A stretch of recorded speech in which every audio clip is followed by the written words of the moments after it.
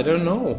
I think I think it's a very tricky question to to answer, but uh, because you know, of course, I have I have also been working in figuration, and you know, I been painting classical things and approached uh, figuration in all kinds of ways and and of course I really appreciate uh, lots of figurative uh, paintings also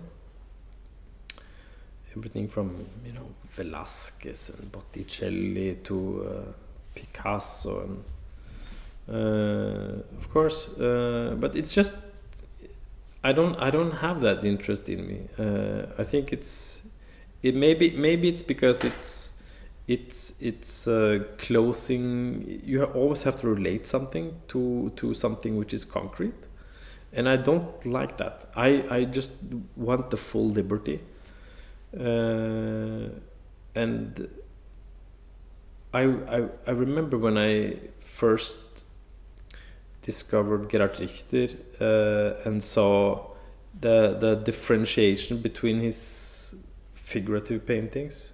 He's more like classical, and he's abstract, and then you have things which is in, in between. Uh, and uh, I remember discovering Sigmar Polke and Anselm Kiefer and Martin uh, Kippenberger and you know all the really great guys, the German art scene.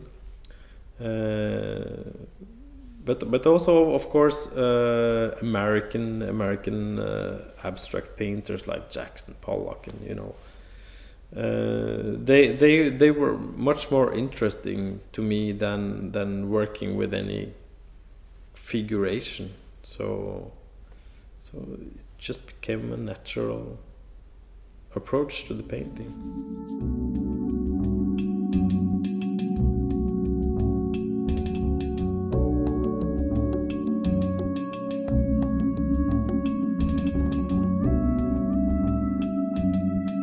I don't know. I don't know. I tried to make them uh, on, on the side, but it just doesn't work. Maybe it's something about the physical thing also that uh, I like to work with something that is bigger than myself.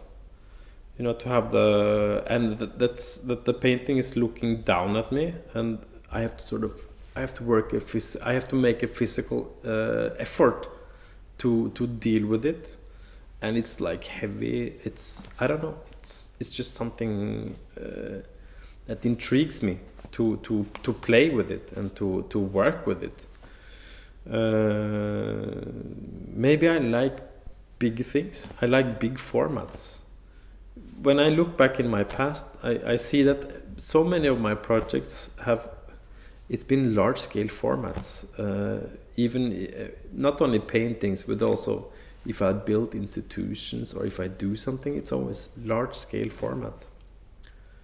So format is uh, important.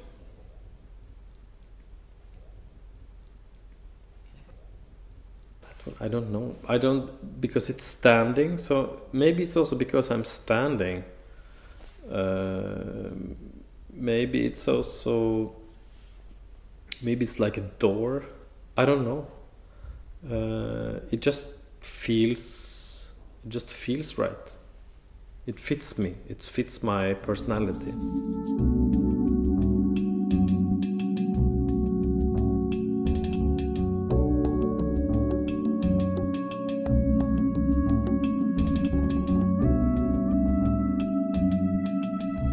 Yeah, I was thinking of of uh, working with that topic actually for a long time, but uh, but there's been so many other uh, side projects that has uh, uh, that I've been working on and exhibited before that, and maybe also I needed some time because you know it's it's um, it's something that uh, it requires some some some effort in terms of reading specific reports on on uh, on on the global warming itself also and to uh, and it's I think many artists are a little bit afraid of touching the the, the topic itself. I it's very few, I I think it's really and I think it's really strange that so few artists actually dare to touch the the topic. Uh, and I was also thinking that um, there could also be a lot of critique of you know making beautiful paintings and deal with with uh, with um, with uh, such a touchy topic. Uh, so, um, but but at least I I I really did into the framework of my knowledge now and my visual language now. I thought it was a, a, good presentation of the of the topic and and um, but I mean it's uh, it's strange that nobody wants to go into the topic. Uh, they don't even want to discuss it in the art world, not not here in Norway. So. Uh, I tried at least. But there is no coherence in the in the art world about it.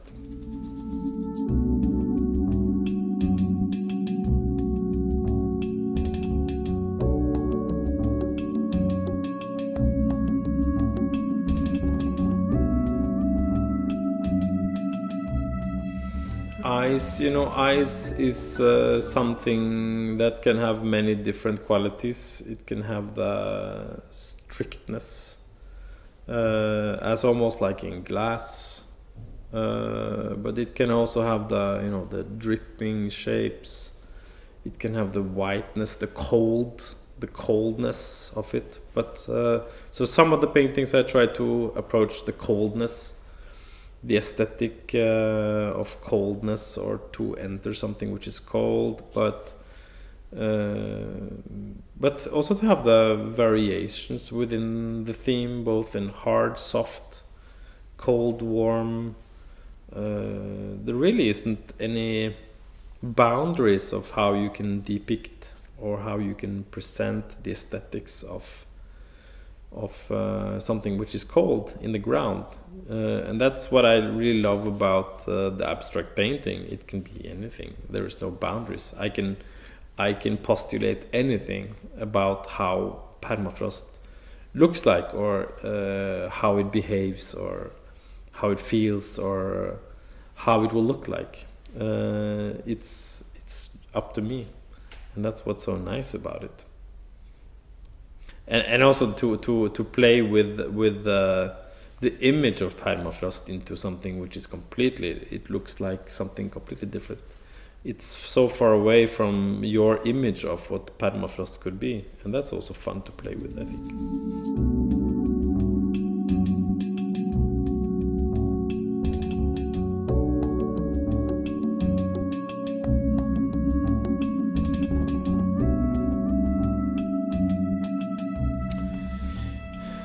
It's a coincidence, but it's um, you know red is a very it's a very beautiful color. I really love red, but I'd never dare to to to to play with red as a foundation color. Uh, but it's a paperwork, and um, uh, when you work with with the watercolors, uh, you have the possibility to work directly into the wet paint.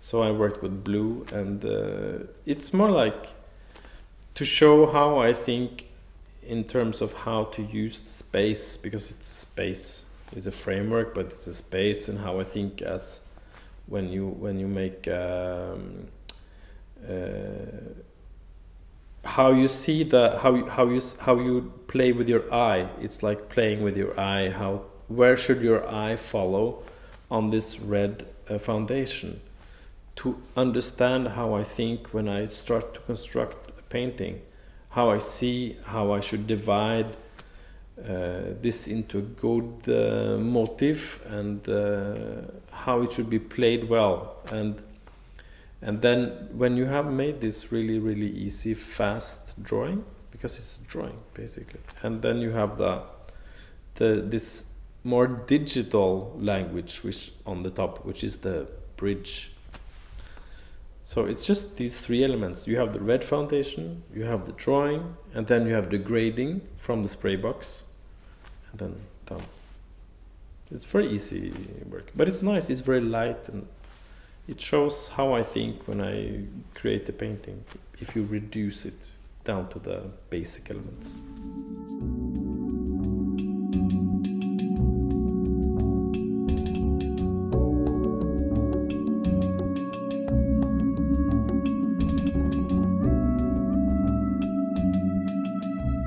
I did not go to the north, um, but of course we have we have uh, permafrost here in Norway, uh, but not as deep deep rooted as in let's say in Siberia where the permafrost goes 1,500 uh, meters in the ground.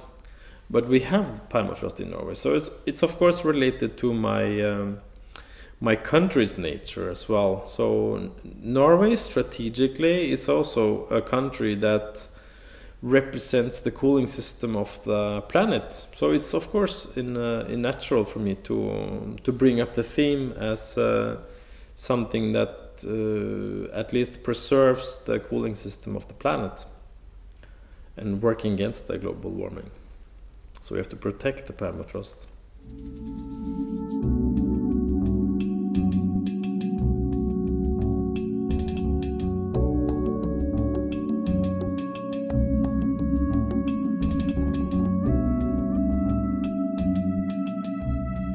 I think there should be much more present in the public uh, discussion uh, about permafrost specifically and the, the function of the permafrost and the polar vortex, of course, and all the cooling elements of, uh, of the Earth. Uh, in in Norway, there's there's so much. Uh, I think the, the, the media focuses on way too much uh, things which is far far away from from uh, from the topics that we should be discussing. Uh, there's so many journalists just writing every day about uh, Donald Trump and American politics and things which is really it's not relevant to to to Norway. We should focus on our uh, national politics when it comes to uh, preserving, of course, our nature and uh, how and what we can do to preserve it and to to to make it a more sustainable uh, nature. Uh, but uh, it's it's of course very difficult because it's very much anchored within. since we're a cold country, we also have to travel to our work, so most of most of the citizens they have they have cars. They have diesel cars or they have gas cars. Um, and how can we change from that kind of of uh, transportational system to a more more uh, environmental friendly uh, uh infrastructure?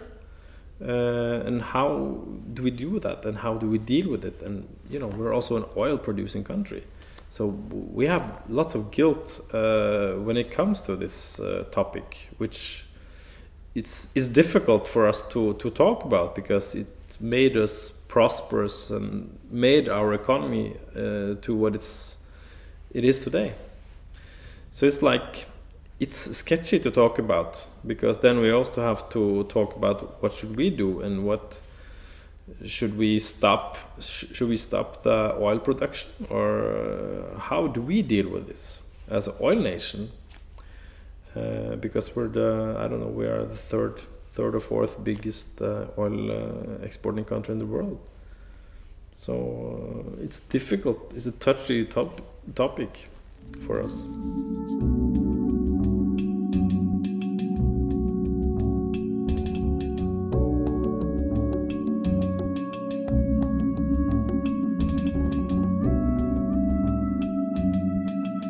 Yeah, but I think what Norway did uh, when it comes to the electric cars uh, is very smart because the um, it has been given an incentive, so you don't pay taxes uh, like twenty five percent, which is called moms, the VAT, on electric cars.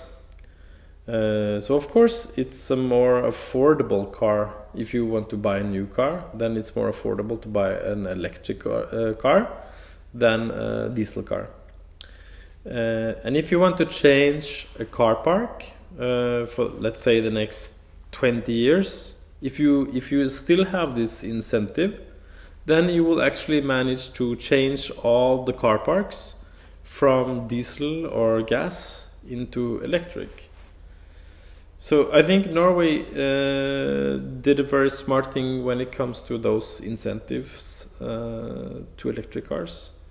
And uh, if they promise to keep it, of course, people will, will buy uh, electric cars more than, than uh, diesel cars. And you see also on the big manufacturers of cars worldwide, everybody's uh, producing lots of new electric cars now and uh, wants to get part of the race. So, uh, so the question is, you know, is it is it sustainable? Because you know the the pollution related to the production is also big, you know, and what is the substitute? What about these batteries and the electricity? Will that also be part of of uh, a new? Uh, is that sustainable or?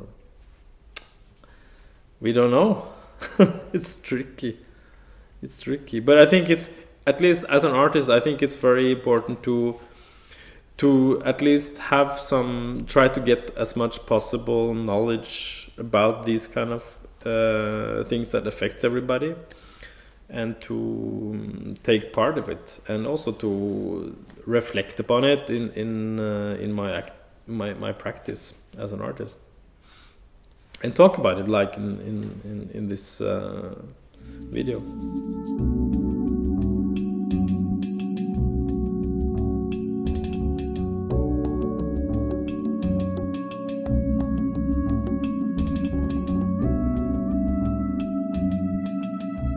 I think it's I think it's good to have uh, that an artist should be involved in in uh, in in life because we are in a way a little bit on the outskirts of society in a way you know we don't we don't produce things that you you need.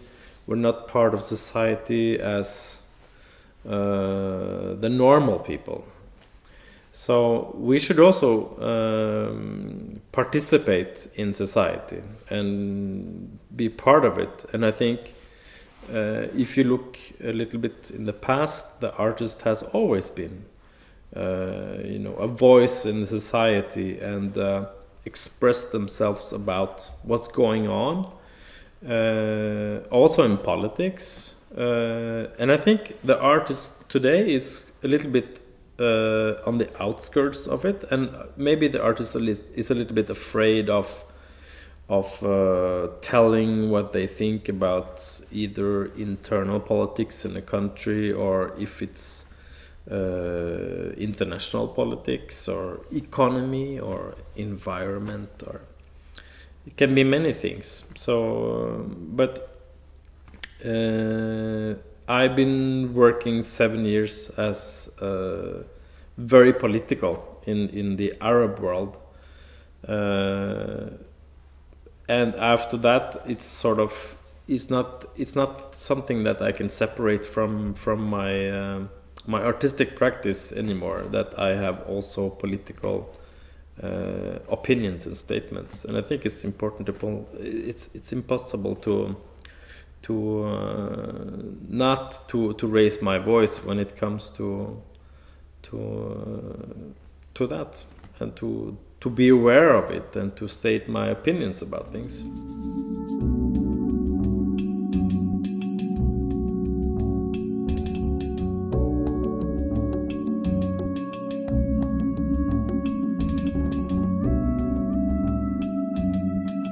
Yeah, because uh, Jerusalem was my home for many many years. Jerusalem and Ramallah, because uh, just to give you a very very brief brief background, I in 2002 I initiated that there should be established an Academy of Fine Arts uh, in Ramallah for the Palestinians. Uh, this was one year after the attack on the World Trade Center in New York. And uh, when George Bush got elected and uh, his invasion of uh, Afghanistan, and then later on also Iraq.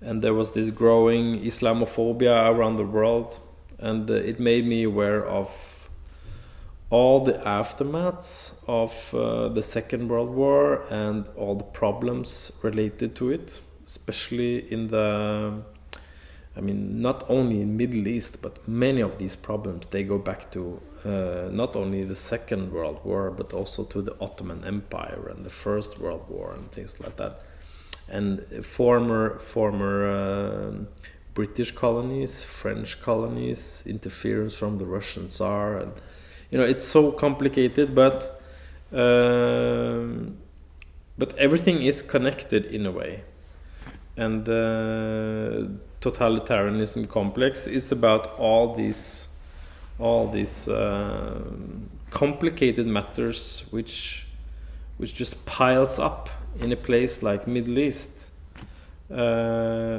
where where where, the, where there is so much frustration and historically so many different countries leaders that has interfered and intervened and just destroyed uh, country after country.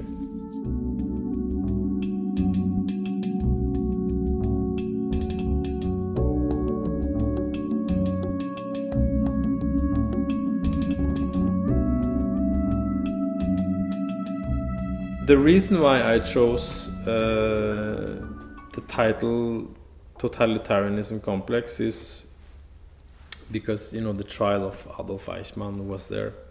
He was captured in uh, Argentina, and uh, of course Nazi Germany was a totalitarian state. And uh, since I've been working in in Palestine and been a lot in Israel, I feel that you know this this way of thinking, this racist thinking that was in the Nazi Germany, is so much present there too. I never experienced this kind of hate, and this uh, the hate that you don't. It's impossible to discuss with the, with this hate. It's it's like it's like a wall, and they're building a wall there too. Uh, they don't want to talk to you about it. They just they just want to draw the conclusion, and uh, they just want to kill each other. It's so brutal. It's so totalitarian and uh, and it's so complex, of course, which which hence to the title. And you know, after working in Middle East for seven years, I just I don't I don't trust uh, the humans anymore. It's just we are just so crazy. We are so crazy. We haven't learned anything from the past. We don't learn from history and uh, that's what's what I found so scary about uh, being there, really. But nevertheless, I think it's so important that uh, there is initiatives that brings some sort of positive energy to the place because it lacks the positivity. Uh, so there should be more of these small uh, positive thinking these small spaces where you can have positive thinking like in a, an art academy or a museum or a place where there's good vibes.